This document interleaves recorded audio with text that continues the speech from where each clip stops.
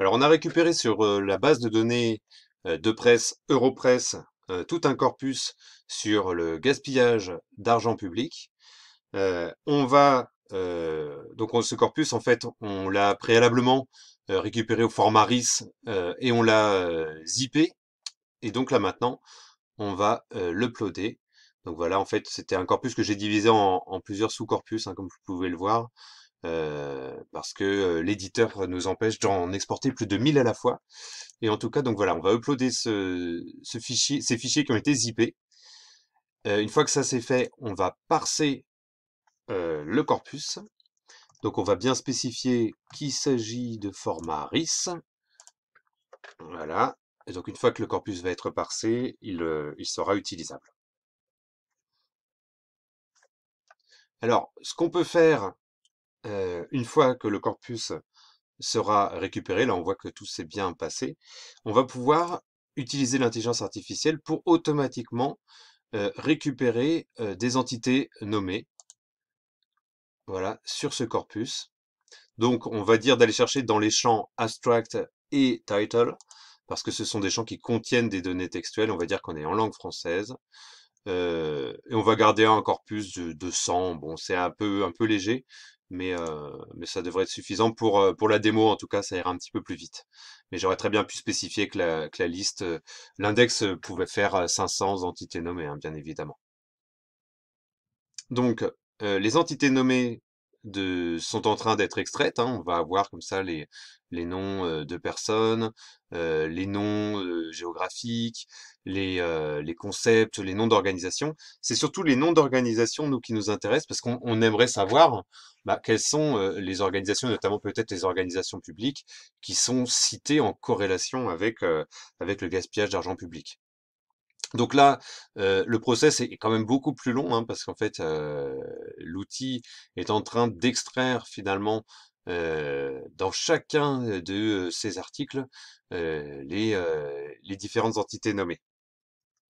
Donc, ce, ce corpus, en fait, ce qu'on va pouvoir faire plus tard, c'est utiliser cette intelligence artificielle pour enrichir une liste de euh, d'administrations publiques qu'on a euh, trouvées sur Internet et qui a été constituée euh, en grande partie euh, par des humains. Donc, ça va nous permettre, comme ça, grâce à l'intelligence artificielle, d'enrichir euh, un un index, un vocabulaire euh, produit, euh, produit par des humains. Donc comme ça, on va tout de suite comme ça identifier ce qui est, ce qui est intéressant. Donc vous voyez, ça y est, c'est terminé. Donc là, on a nos différents index, hein, les localités, les sujets, les organisations, les personnes. Alors nous, ce qui nous intéresse, c'est plutôt les organisations. Donc on voit tout de suite mais là, pour le moment, on ne travaille qu'avec de l'intelligence artificielle et pas du tout encore avec du vocabulaire. hein. Donc là, je peux faire des tris par fréquence et on voit la Caisse des dépôts, l'AFP, le Parti socialiste, le Front national à l'époque, parce que c'est un corpus quand même que- qui est un petit peu ancien. Et voilà. Donc ça, je vais pouvoir bien évidemment l'utiliser pour euh, pour euh, pour peupler euh, un vocabulaire que j'ai récupéré par ailleurs. Je peux, ceci dit, avant quand même regarder un petit peu ce que ça donne si je fais une analyse en réseau sur la base de de ces organisations, voir quelles sont les organisations qui sont les plus citées et lesquelles sont citées les unes par rapport aux autres dans les mêmes documents, par co-occurrence. Donc là aussi, c'est un diagramme qui va prendre un petit peu de temps. Voilà, on le voit là qui, avance comme ça sur, euh, sur la gauche. Voilà, donc là, ça y est, c'est quasiment terminé. Voilà. Hop. Et donc là, maintenant, on va pouvoir regarder un petit peu ce que ça donne. Et déjà, tout de suite, on, va voir comme ça des, des organisations, vous voyez, euh, la SNCF. Là, ici, on a notamment des partis politiques. Euh, là, on voit euh, des syndicats aussi. Là, on voit tout de suite la Cour des comptes, euh, qui apparaît plusieurs fois, mais sous des formes différentes. Donc là, on a notamment le, toujours des partis politiques, Mouvement 5 étoiles. Bon, on n'a pas forcément beaucoup euh, d'organisations, euh, d'administration publique, hein, mais ceci dit, les administrations comme ça qu'on va récupérer dans cet index euh, va nous servir à peupler un, en fait un, vocabulaire que je vous montre qui est ici. Vous voyez que j'ai récupéré hein, euh, sur, euh, sur Internet. hein, et, du coup, je vais pouvoir le, le peupler un petit peu sur la base de ce que l'intelligence artificielle va me donner.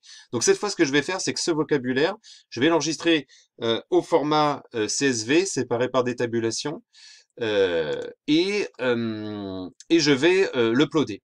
Donc là, c'est comme si je, je uploadais finalement un corpus, sauf que cette fois, il s'agit bien euh, d'un vocabulaire.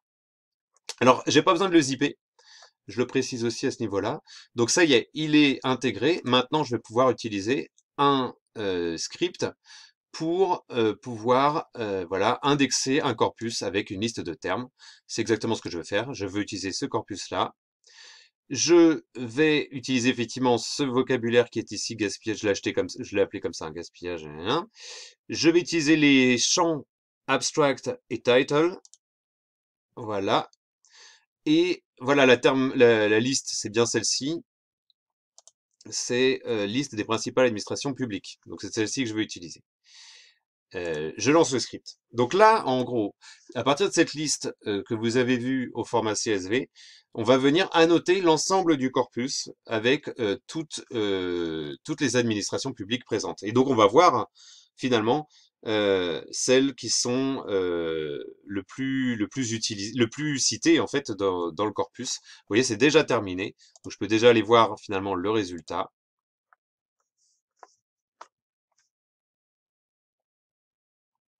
Et vous voyez, alors, le résultat, vous voyez, on retrouve notre liste hein, telle qu'elle était à l'original. Bon, on voit que, par exemple, l'université d'An- d'Angers n'est pas du tout citée. Mais par contre, si je fais un tri par occurrence, je vois que, voilà, la Caisse des dépôts, euh, ensuite, il y a les aéroports, la Cour des comptes, la SNCF, Conseil général, ministère, université, la Poste, vous voyez, musée de l'armée.